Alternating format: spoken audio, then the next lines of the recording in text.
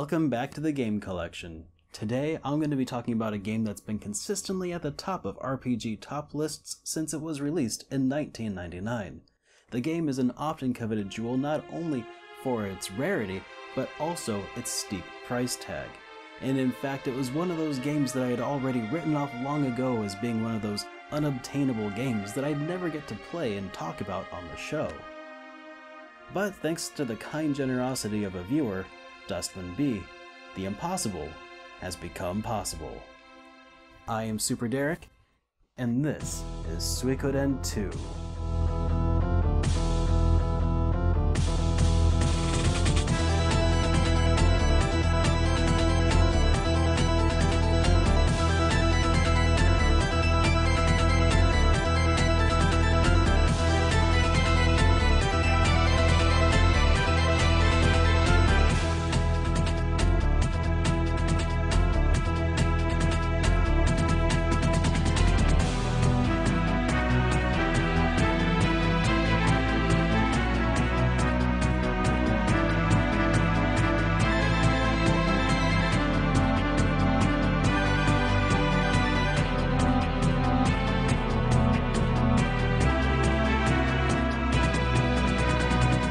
You begin to talk about such a universally acclaimed game?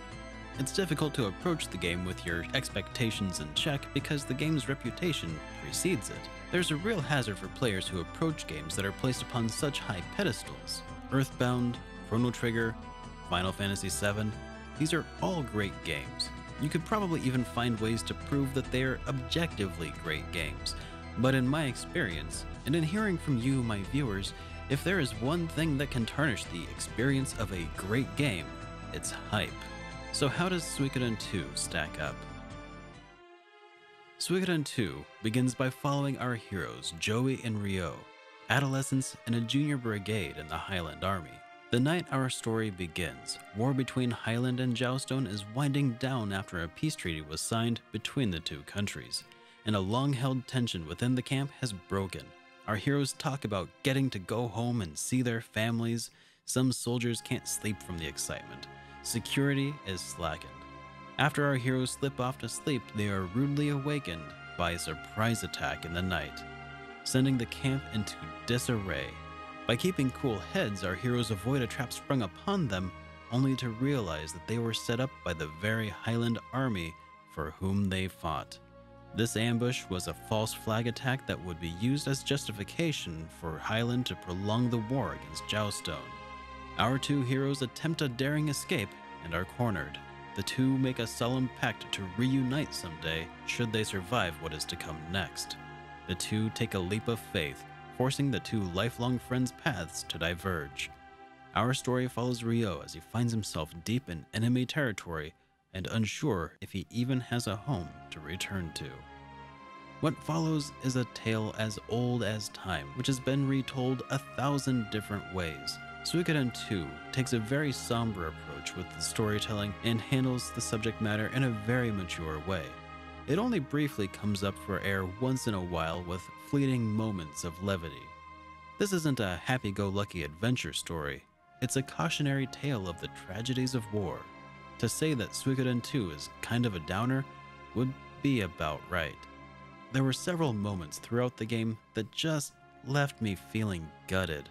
Moments that had me asking, how could anything turn out right after this has happened? And most of those questions went unanswered.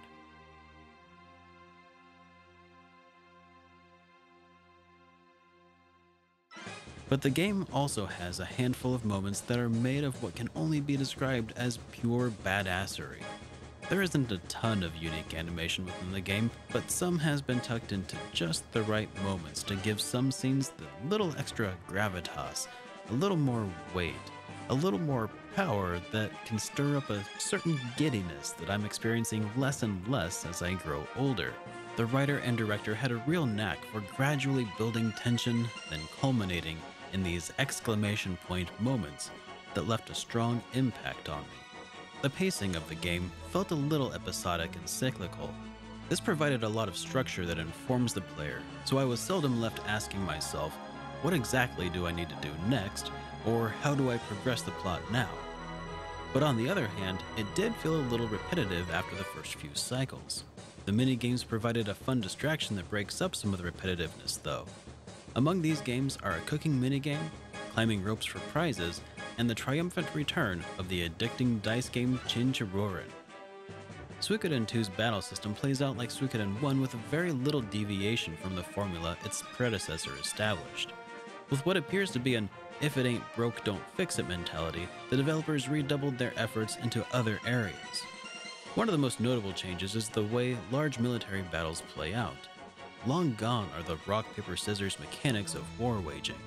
Instead, you play the role of a commander issuing orders to various units in a tactical RPG style engagement.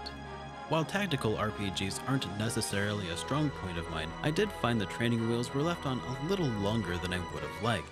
And even by the end of the game, I feel like the most difficult engagements weren't so much difficult as just drawn out. Most turns resulted in minimal damage being dealt by either side to my frustration. This is just one of the few rough edges within the game that I think could have used a bit more work overall. The world of Suikoden 2 feels a lot larger than Suikoden 1, because it is. The game has several different regions that are gradually locked and unlocked throughout the game due to storyline events, and usually multiple towns within each region. Each region also usually contains a dungeon or two of some sort related to the various problems that plague the towns or tasks that need to be completed to fulfill some strategic purpose. The dungeons have added an extra layer of complexity not present in the game's predecessor. The designer behind these dungeons certainly had my playstyle pegged as they constantly had me backtracking as soon as I'd second guess the direction I had chosen, only to run into several more dead ends. The world presentation within Suikoden 2 is overall very similar to Suikoden 1. The sprites and portraits seem to have one extra layer of polish that get their chance to shine brightly every once in a while, but it would be easy to mistake the visuals between the two games at a quick glance. The more I played Suikoden 2, the more apparent it became that Suikoden 1 really was just a practice run that led up to this main event. The music within Suikoden 2 is another of the game's stronger points that never failed to impress. The fight against a certain mid-game boss, who I'll not mention for the sake of spoilers, was a real treat to listen to that kept me grinning from ear to ear. And if you've played Suikoden 2, you probably know which song I'm referring to. Suikoden 2 is a great game, so does it stand up to the hype? Can any game really live up to the hype that well-meaning fans have given it? Can any game really warrant these grandiose pedestals? And what exactly are we doing when we give someone the impression that a game can be a holy grail? Could we inadvertently be diminishing a player's experience by giving them impossible expectations? Suikoden 2, and all great stories like it, has the potential to give players unique experiences and offer different perspectives on the nature of the human condition. Suikoden 2 in particular really drove home to me the futility of war and our collective apparent inability to rise above it. These kinds of stories have the power to change the way you perceive the world around you. One could argue that these kinds of stories could be life changing. But here's the truth about RPG Holy Grails they're fun, they'll make you feel emotions, and they'll probably cost you a lot of money but they're not gonna change your life unless you're the type of person whose life is easily changed in the first place. These Holy Grail RPGs are on pedestals not because of how fantastic they are, but because of a deep seated emotional need for people to share life experiences with other people. And it's a feeling that I am all too familiar with myself. This show wouldn't exist without it and it's probably that same feeling that moved Dustman B to share his copy of the game with me in the first place. Suikoden 2 was a ton of fun to play and well worth the time investment. I recommend that you pick up a copy on the PlayStation Network because it's way cheaper and easily accessible to anyone who's owned a modern Sony console within the last decade. Just try not to let that hype get to you, and I hope you have as much fun with it as I did. And if you've played it and the game speaks to you on that deeper level, that's when I'd say it's a good idea to go ahead and pick up that physical copy of the game and spend the $200 to get it. Next time, as I continue through the Summer of Suikoden, I'll be playing through Suikoden 3 next time on the Game Collection.